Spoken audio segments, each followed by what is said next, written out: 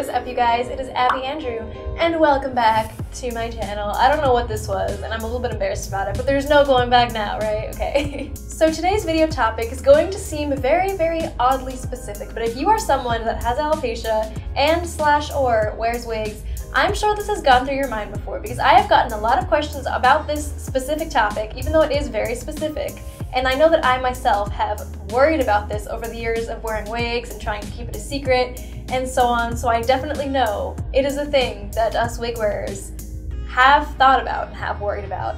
And that is going to be roller coasters with wigs. So this video is kind of going to be like talking a lot about roller coasters, but it also applies to a lot of other activities that involve something that might make you fear your wig flying off. So that could involve a lot of other things like I don't know, doing gymnastics, cartwheels. The other, a couple weeks ago, I rode a mechanical bull with a wig. I'm going to talk about that a little bit as well, because that's a whole hilarious story in itself. So just generally activities like that, that you might fear your wig coming off in these instances. So I'm going to talk about a couple of personal experiences I've had with this.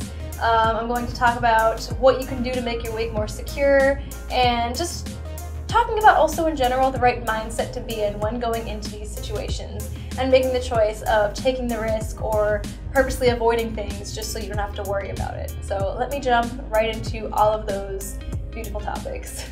So I think that many of you guys might find this very relatable that for most of my life, for most of my childhood, which is when you would probably want to be riding roller coasters in the first place for the most part, whenever I went to amusement parks, my first question when I was considering going on a ride wearing a wig was, will this make my wig fall off? And of course, as at a young age, I hid the fact that I had alopecia from most people. Like usually my friends would know, um, but most other people didn't know. And if, in general, if strangers see you wearing a wig and, and they're not close up, or if it looks very realistic, they're not going to know either. So I really never ever wanted to be in a situation where I had to tell them. And much worse was the thought of my wig flying off and them like being shocked and because that's always just the most awkward situation to be in. I wanted to avoid that so much as a kid that I would just not go on roller coasters. And for the most part, with really close friends, I would maybe tell them like why, that it was because I didn't want my wig to fall off. But for most people, I would just kind of pretend it was a fear of these rides, of roller coasters. I would just pretend that I was really, really scared of them. Meanwhile, a lot of the times that was all I wanted was to go on these rides. um, there was basically a lot of rides growing up that I would want to go on as a kid, but didn't because I was just too scared, not of the ride, but of my wig flying off and being like publicly humiliated. Or that's how it seemed like it would be to me as a kid. So what I want to talk about is the fact that that feeling of public humiliation, that is up to your own interpretation. And this is something that I'm only coming to terms with as of the past like year or so. Even though I've been conquering my alopecia confidence within the last like 4 years, I've been like really tackling it and like going public with it and all that. Only within the last 1 year have I been really challenging myself to do things that I'm afraid of like that, like my wig falling off or something, just to kind of like push myself to do it, even if I am still afraid of it. So, for the very first time in my life, last year, at the age of 23 in May of 2018, that was the first time I ever went on a legit roller coaster. Is that not crazy? Like growing up, I probably went on some like baby basic roller coasters, but nothing with like loops, nothing that went too fast, nothing that would make me fear my wig flying off. And last year was the first time that I went on a legit roller coaster like that. And let me tell you how I got myself into that situation and how I ended up changing my mindset to just say like, I'm just gonna do it despite my fear. So the week leading up to, I think me and my friends all went on a Saturday, and the week leading up to it, I had agreed to go because I like going places with my friends. I like activities, and I didn't want to say no to going to Six Flags, which was the amusement park we went to. I didn't want to say no to going just because I was afraid of my wig falling off on rides. All of my friends obviously know that I wear wigs, so I knew that they wouldn't pressure me to ride rides that I was like too nervous about if I said that that was my concern. So I knew that I'd be able to go with them and like not have to worry about like lying to them about it or something.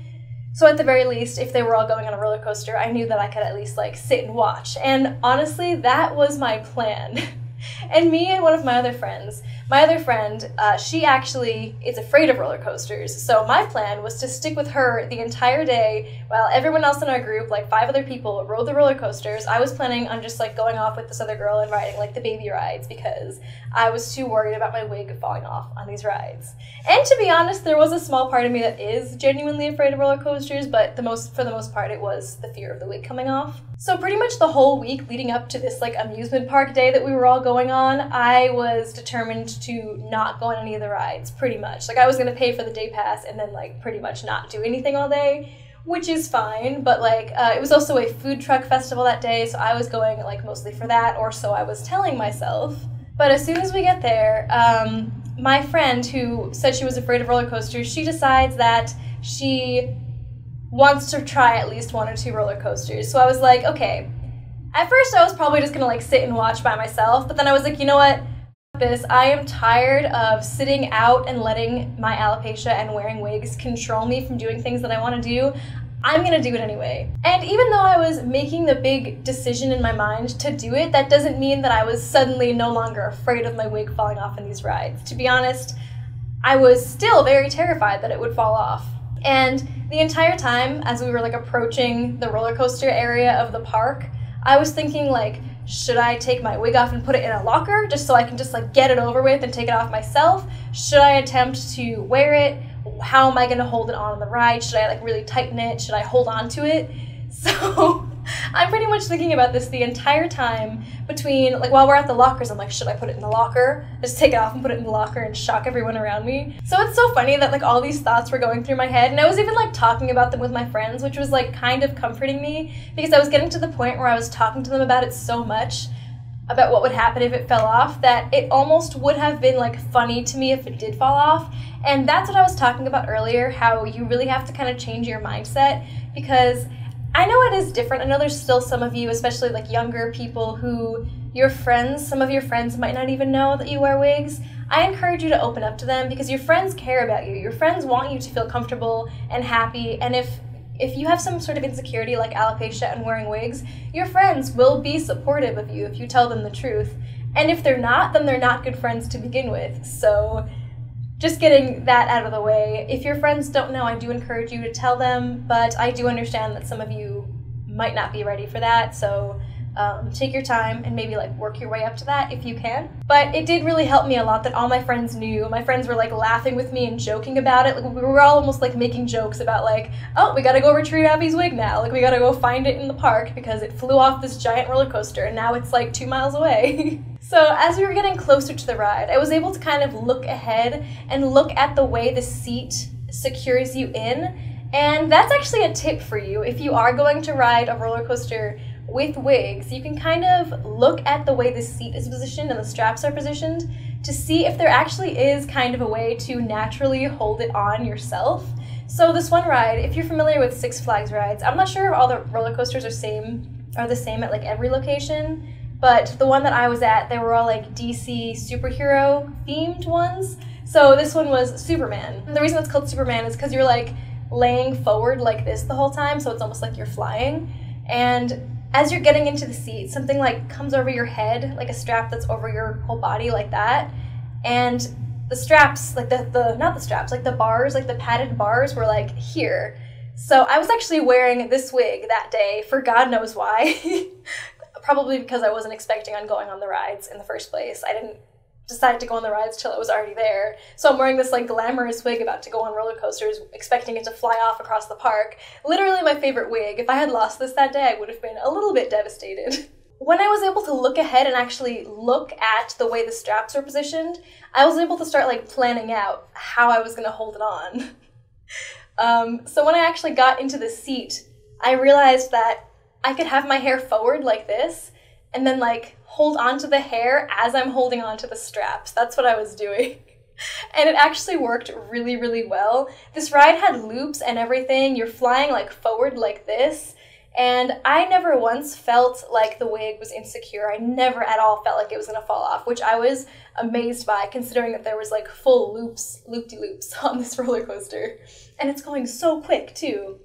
The other thing is that I would not recommend, if you're afraid of your wig falling off on rides, only wear wigs that are like super super secure on your head. Like maybe literally try to like go upside down or like do cartwheels and see if it budges like that because i could probably do cartwheels in this wig and it wouldn't fall off because it fits me like it's supposed to like the uh, the adjustable strap tightens to like to like the perfect circumference of my head so it fits perfectly. And i also don't wear like glue or tape on my wigs or anything like this just fits perfectly so it feels comfortable and it doesn't feel like it's gonna fall off and to be honest, if you're really worried, like I wouldn't recommend wearing your wigs like this regularly because it's probably very uncomfortable. But if you're really concerned, you can even like tighten those straps even more so that they're like it's really really tight on your head. I think that's actually what I did that day too. I just kind of like reached under my cap while I was still wearing it and like tightened the strap underneath the cap because I was like, I'm gonna need this to be as tight as possible today. But you know what?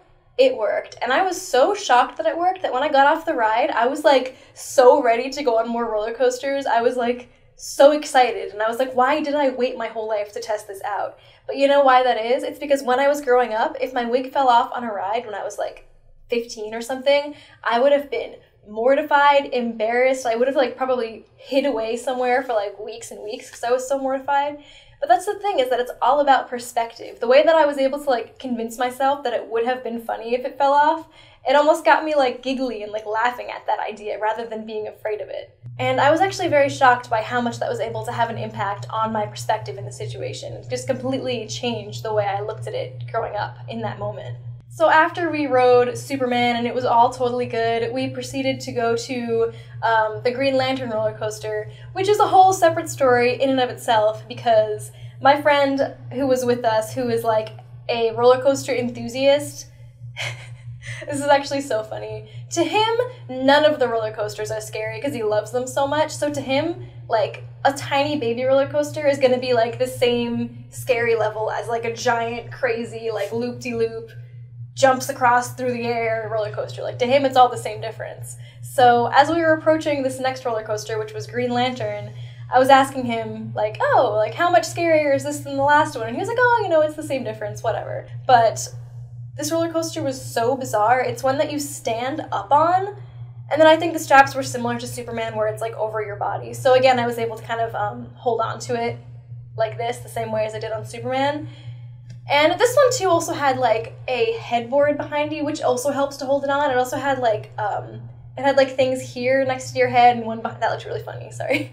It had like barriers here and one behind, so I knew I could also like lean my head back against it to hold the wig on, or to the side. Like there were so many things I could like lean my head on to hold the wig in place. So that's kind of another thing to look for if you are looking for something to help you hold your wig in place if you're on a roller coaster. But it was so funny that we went on this roller coaster next because it turned out to be so much worse than the one before it that like I no longer even cared about my wigs at this point anymore. I was actually like terrified of this roller coaster for real. Like I had already gotten my fill of roller coasters after those two because the second one was so genuinely terrifying that I pretty much didn't go on any other roller coasters the rest of the day. But it was really funny how it shifted from being because of wearing wigs to being because I was afraid of roller coasters. like I actually developed like a genuine fear of roller coasters after that one because when you're on it, it's so uncomfortable first of all because you're standing the whole time, and then second of all, I was saying there's like these two barriers here, right? This roller coaster goes so quickly and it rattles so hard that your head is like banging against the sides of it the whole time.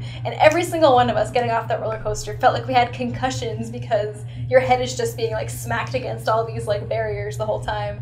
Honestly, the design of that roller coaster seat I feel like is flawed for that reason. I feel like that cannot be safe.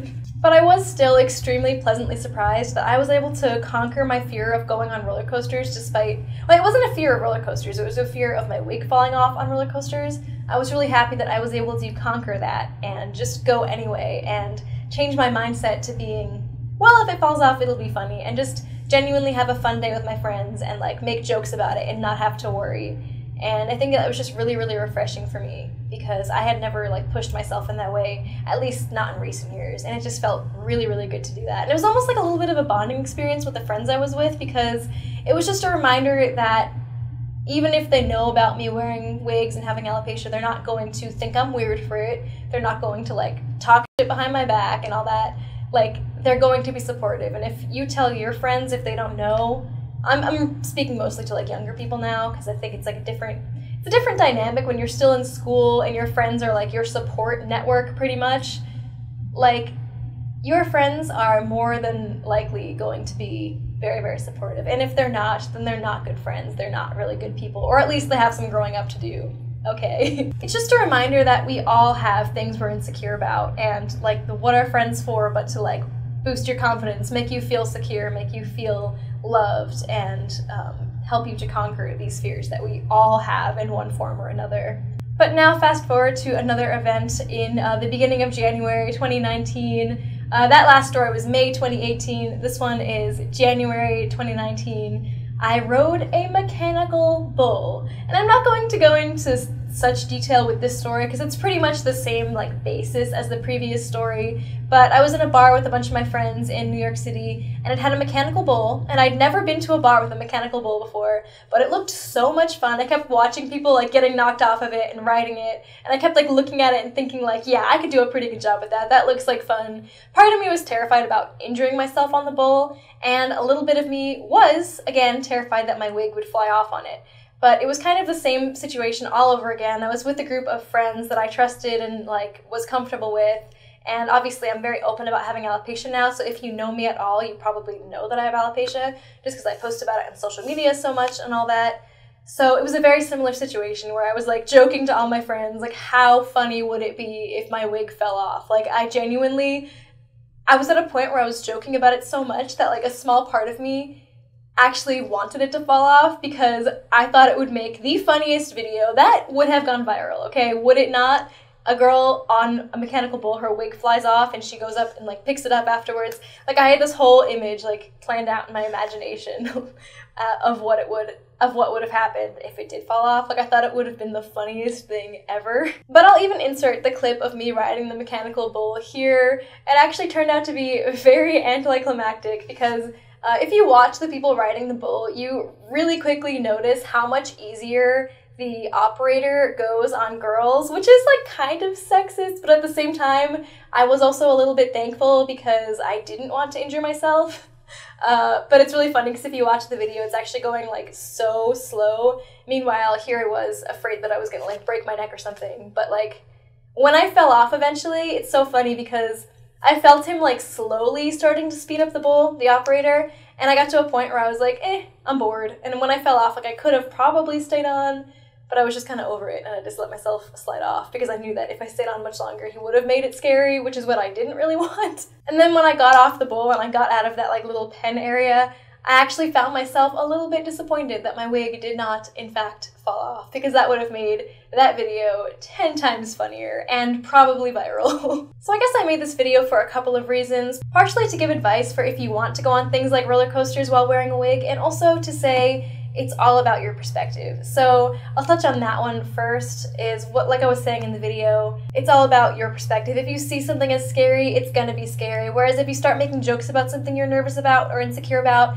it's gonna be funny. Think of like comedians who are self-deprecating and stuff. Not that I'm supportive of being self-deprecating in like a self-hatred kind of way, but it's just all about finding humor in things that you struggle with because what's the point of life if we're just going to let ourselves be controlled by these things. And not everyone in the world has alopecia, obviously, but everybody has some insecurity that they're dealing with. And how much better off would we all be if we just embraced these things and found the humor in them rather than letting them control us? But then, for those of you who are concerned about it, the tips that I was saying before, like, look at the seat of the roller coaster and see if there's anything that you can like hold on to so you can actually hold your wig. I would have thought that a shorter wig would have been better for roller coasters, but after riding it and realizing that I could like literally hold the wig on with the hair, I would actually recommend wearing a longer wig on a roller coaster. I was very surprised about that because, like I was saying, when I went to the amusement park that day, I was not expecting to go on rides, which is the only reason why I wore a longer wig. Otherwise, I probably would have worn a short one. But then when I was actually getting on the ride, I realized the longer wig is almost like handles for holding it on, which like sounds weird to say, but it definitely applied. I also would not recommend wearing a wig that you like love so much because um, first of all, if it does fall off, that's bad. If you like lose it or something and you loved that wig, that's not a good thing. but also because it can probably mess up the wig or possibly I don't think this wig actually got messed up at all, but there is a possibility, so I wouldn't take that risk if I was you. I was just being an idiot that day, to be honest but it all worked out. And then the other tip was just to make sure that the cap is totally secure. Again, I wasn't wearing like wig glue or wig tape or anything, but that's another thing you can do. Wig glue would probably help a lot. And the last thing I want to say is basically, if you would be absolutely devastated if your wig fell off on roller coasters, then I guess my first tip would be to try to change your perspective. But before you're able to change your perspective, maybe just avoid roller coasters in the meantime because I don't want to encourage you to get yourself into a situation that would just make yourself feel devastated if it did happen to fall off. So only attempt to do these things if you're able to maybe find humor in it or like think it's not so bad. But I actually think that the chances of your wig falling off, if it is really, really secure in your head, aren't honestly that high. But do just do these things with caution, just because I wouldn't want to put you in a situation where your wig falls off and you're devastated and it's all my fault. So just still be cautious and use your own best judgment. Alright, that is all I have to say in this video. I hope you guys got a kick out of some of these stories. I hope you also were able to gain some perspective if you are considering going on a roller coaster or something with wigs and it's been a concern for you in the past. I hope these were at least relatable stories. Let me know if you guys have any good stories in the comments below or also advice or anything like that. I would love to make a separate video about times my wig has fallen off in public, but to be honest, it hasn't happened to me for a very, very long time. But I think that would be a very funny video topic for the future. Uh, if you want to comment below, let me know what you think of that idea and I will film it if I get enough um, requests for that. So I hope you guys enjoyed this video. Don't forget to hit thumbs up and subscribe and all that stuff. I love you guys so, so much and I will see you in the next video.